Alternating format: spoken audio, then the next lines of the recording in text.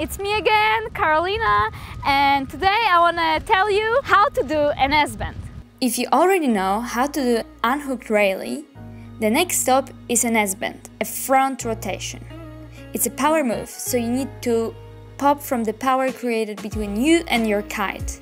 Once you take off, you have to initiate the turn from your upper body, elbows, shoulders, and your head.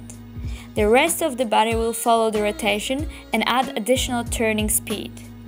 Once you do the entire turn, pull your hands and legs in, just like with a raley, and land.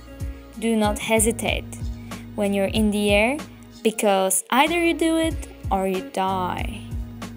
Do it 100 times, just don't get sad. We all had to train that. I've been doing that for last 10 years, so keep a smile on your face and just give it a try.